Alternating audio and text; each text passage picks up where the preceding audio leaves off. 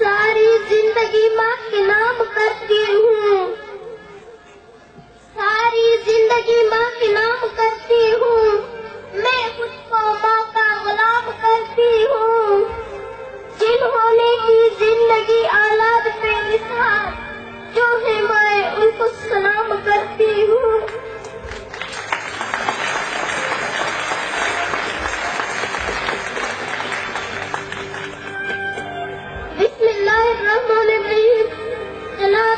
مدرسہ سر جسا معزز سامین قابل احترام۔ اسد کرام اور میرے ہم طلب ساتھیوں السلام علیکم۔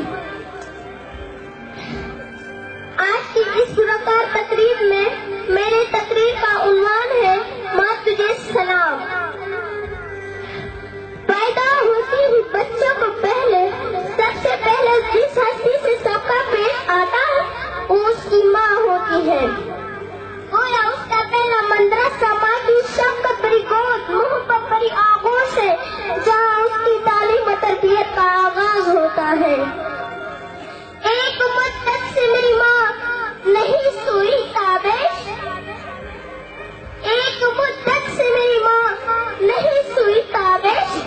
میں نے ایک بار کہا تھا، مجھے ڈر لگتا ہے۔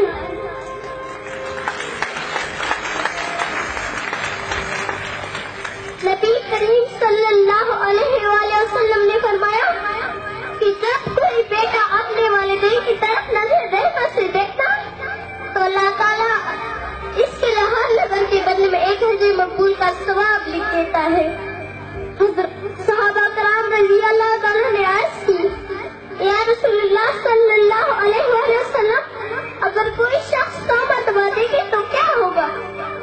نبی کریم صلی اللہ علیہ وآلہ وسلم نے فرمایا، اس کو سو حج مقبول کا ثواب ملے گا۔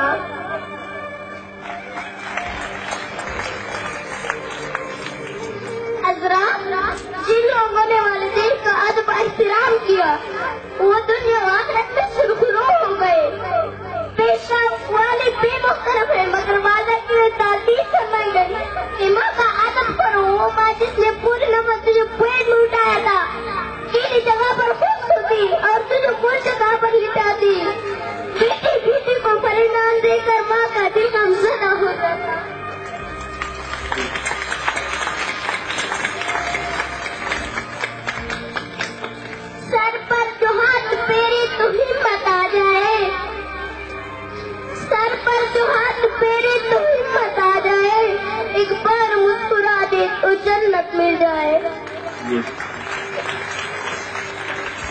جناب صدر، ماں ہر وقت دعا کرتی یا اللہ میرے بیٹے کی خیر ہو۔ یا اللہ اسے ہر میدان میں کامیابی عطا فرما، جو کہ برگاہ الہی میں قبول ہو کر عظمت و شان کی سبب بنتی ہے۔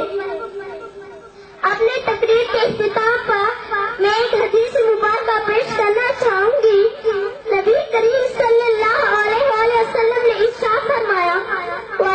نافرمان کو اللہ تعالیٰ اس کی سزا جی کی جی دیتا ہے۔ وسلام